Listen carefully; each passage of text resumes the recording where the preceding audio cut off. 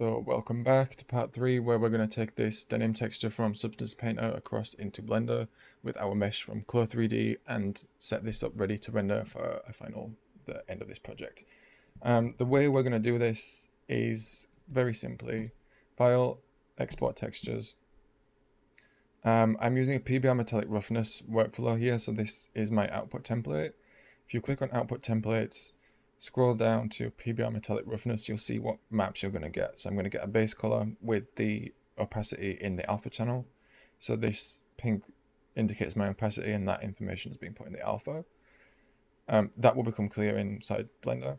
Roughness, metallic, normal, height, and emissive. And the normal map is actually the DirectX one. Um, I want the OpenGL one. So it's good that I check this. So I can just drag this OpenGL into here click RGB channels and now I'm taking my OpenGL normal map and not my DirectX normal. Um, depending on the software you're using, you need to check which normal map you're working with. Blender uses an OpenGL normal map, so that's fine. Back to settings, I'm going to scroll to the folder where I want to export this to, which is somewhere.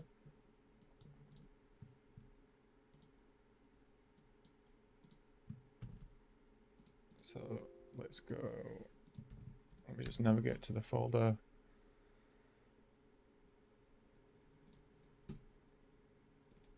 Okay, so I'm just going to make a new folder in this directory and call it substance exports and just save everything in here. So actually, no, it didn't.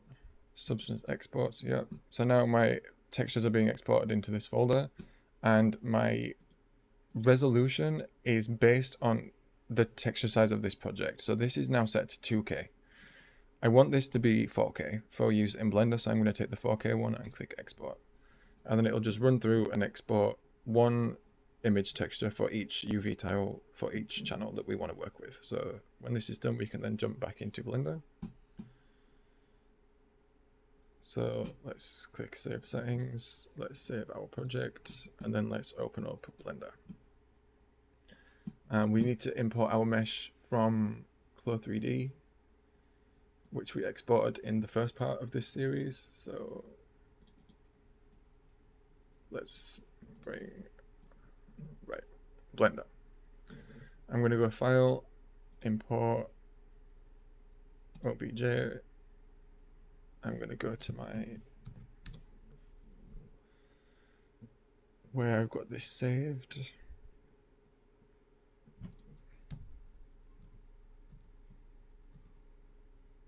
And I'm just going to import the thick export that I had before. So I'll take the thick one and I know I can bring the thin one as well.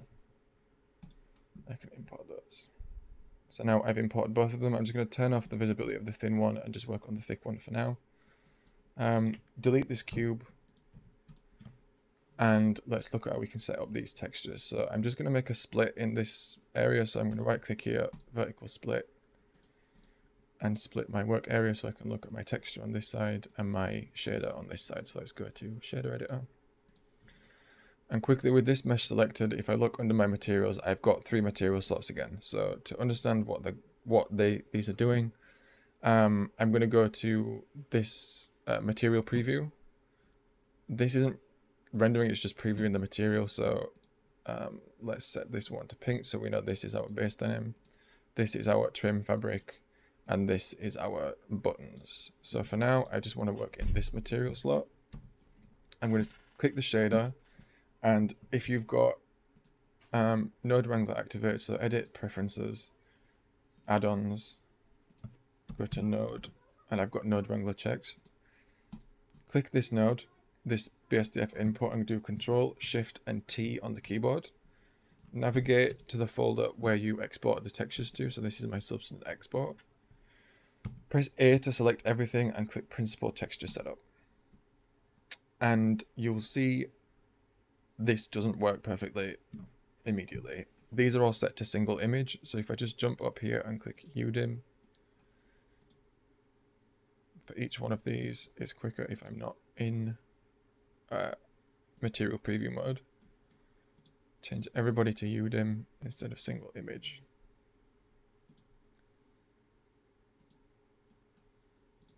Because I am using multiple UDIMs in this workflow.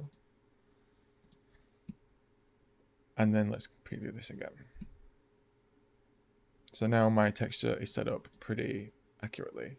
Um, the button material, again, I could input the texture set over here as well, or I could just simply set up a kind of gray metallic shiny button. So these look metallic now. And then for the fabric down here, I can control this by itself, or if I just delete this material slot, it will join with the one above it. And now this is being controlled by um, the same image textures as the dress. So I've just got one material slot. Um, the opacity of this, because I put a bit of opacity in this here, is in the alpha channel of this base textures. So if I take the alpha output and put it in the alpha input, um, we can view the, the opacity of this. It's not visible in this preview mode. I'm going to have to go into render view. So let's go over here, choose the camera icon, go to cycles, set it to GPU, and then go into render preview. And there might be a bit of opacity not visible. Um, you'll see immediately this looks crazy on the uh, normal map and displacement. So we can quickly try to fix this. I'm just going to add some lights though. So in the 3D viewport, press Shift and A to add, go to light and choose area. Press G to grab it, press Z to lock this to the Z and up down axis and just drag this up. And now we've got kind of panel of light above. Increase the intensity of this in the light settings on the side and just set this to maybe 50. And you'll see immediately what I mean by this. So if I zoom in, there's a lot of information in this displacement map that's being pushed too far, which is why this mesh, this texture looks the way it does. Um, I can simply just turn this off by setting the scale to zero. And now we're just using our normal map. Again, if I set the normal map strength to zero, um, we're going to lose all of that surface information. So uh, maybe set this to 0.5 if it's too intense. Um, but now you can control the, you know, the wrinkling and the edge thickness of this mesh.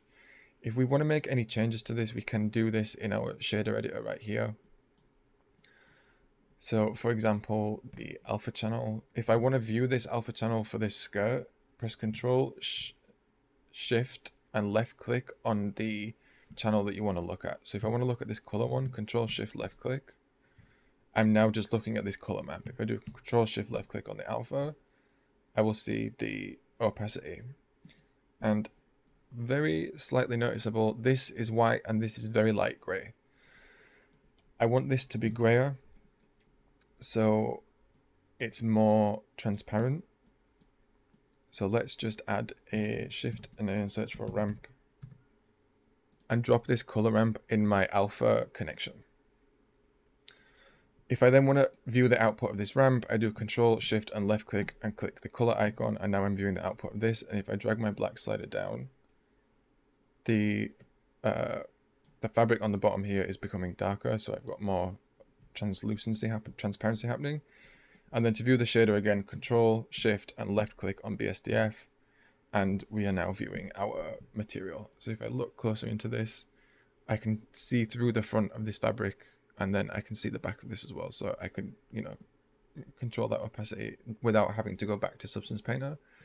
Um, we could do the same on the roughness, for example, if we want this to look any rougher.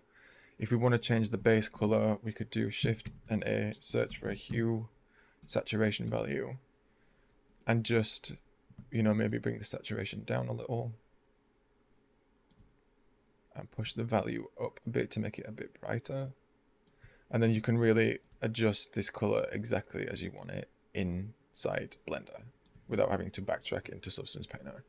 Um, just a note on that though, if you do need to backtrack into Substance, um, you you make changes to this. Let's say our top coat we change to red, and now we want this this pink denim. Again, we can change the color of this inside um, Blender directly, but if you do export again, export your textures, export them in the exact same directory so that when Blender reloads, it will reload the textures that you overwrite and you don't need to set all these nodes up again. So they will just reload the textures from the directory. So that's often a lot easier. Um, to get a nice render out of this, if we look at this in render view, we probably need some more lights. So Blender just crashed on me, something happened, either Blender or Substance, and I did not save this file. So tip, file, recover, autosave. This file was my last one from when, like a couple minutes ago, recover autosave, and my file is back here. So if you ever crash out of Blender, just check your autosave folder and it should bring you back to kind of the last um, moment that you were in. Okay, so like I said, if we want to make some renders of this, we're probably going to need some additional lights in the scene. And I think I want to put like a background into this as well. So let's look at this in uh, shaded mode. I'm going to press Shift and A and look for a cube. I'm going to drag this up and scale this up just to give myself like the illusion of a room. Let's go to edit mode press 3 on the keyboard to be in face select and then just select these three faces and delete them. So now my mesh is kind of standing in the corner. Um, if I go here to face orientation, this is the back of the normal map, not the front. It's red, blue is front, red is back. So if you look inside, this is the thick mesh. If you look inside the thin mesh, the back is red, the front is blue. To fix this, select all your faces, go to mesh, normals, and flip. And now they're set the correct way around. Back into object view and I can just turn off the face orientation in the overlays and then we can look at adding some additional lights into this. So let's look at this. This currently doesn't have a material applied to it. So if I click the cube, add a new material, I could just up the metallic reduce the roughness, for example, to make this shiny, or bring the roughness up to make this quite matte. And I can add a color to this as well if I want. But I just want some kind of white space around to capture the light. So let's add some more light. So in the 3D viewport on this side, I'm just going to press Shift and A light and do a point light. And again, this adds it in the bottom here. So I'm just going to press G on the keyboard to drag this up and just drag this behind our um, character. I'll increase the intensity to about 150 and the radius I can increase as well to just add some brightness into this this studio space that we're creating. Um, this is a really simple light setup. I'm just going to raise this area light a bit. Scale it up increase the intensity to again to about 150, maybe 75, actually too much. Yeah. The one last light we could add is a spotlight, and to do that I'm going to use an empty as well. So press Shift and A, add an empty sphere, press S to scale this down quite small, like, you know, handball size, let's say. Just so it's not too big. And then put this on a point where we kind of want to shine the light on our avatar. Let's say like this side of the body to kind of cast some light across the the way there. Press Shift and A again. Look for light. Add a spotlight. The spotlight is automatically facing down. So if I grab this, it's still pointing down. I can use R to rotate this around, but it's it's annoying. The best way to do this is go to our object constraints, which is this blue kind of gear looking thing under object constraints, choose Track To. Under target, choose empty. And now this will point wherever I go, always at that empty. So you see this line in the middle is always pointing at this empty spot right here. Let's reduce the spot size of this a little. And then we can increase the power of this light as well, maybe to about 50, 100 even. And then increase the radius of this light a little bit. And you'll see if we start to move this around, we can just cast some extra light on this wherever we might want to. Uh, let's look at it from the front. Shine the light kind of down and across. Like this. Great. Um, the next thing we would want to add is a camera. And as I start to work in this area on the side, all these overlays are, are visible. I can see everything, the ground, the, the lights, all these lines are visible. If I want this gone, just turn off overlays up here. This show overlays. And now I'm just viewing a nice rendered scene. Um, let's add a camera. Oh, we've got a camera here. Let's set depth of field and let's turn this on under the camera settings and let's look through this camera. So I'm going to click this toggle camera view here and we're looking at this from really far away. Toggle back and if I'm kind of lined up, I like this shot. Press Control, Alt and zero on the keyboard and your camera is going to jump to that spot. Um, depth of field is turned on, so I'm getting this blur effect, and I want the focus point of this depth of field to be the same empty as my light. So let's choose empty. And now that empty right there is the focus point. So if you imagine a plane through this area here, that's where the camera is focusing in on, and then we will get depth of field in the front and the back of this. My camera is landscape. I want a square input, so go to the one that looks like a printer set this to 1024 by 1024, which is 1K. And then if I press N on the keyboard and click view, I check camera to view, I can, you know, frame this up. So let's zoom out, but you know, now my camera view's away. I want to zoom in on this, but I don't want to zoom the camera movement. Again, press N on the keyboard to make this menu come out. Turn off camera to view and then zoom in again. And this will zoom our frame space back so if I want to move the camera again, jump back to camera to view, move this around a little bit wherever we are. And there's a really simple kind of like light and environment setup to get kind of a nice product shot. I think this is working. If you toggle around again, you'll jump out of uh, the camera view. So again, click the camera and this is my current render. Um, if I want more angles on this, just choose the camera and press shift and D to duplicate it to view this camera now, camera one instead of camera, I can just click this icon right here. So this is now my active camera. If I go camera to view, I could zoom around, you know, pan this around a little bit, zoom in, make a nice detail shot, let's say, you know, like this.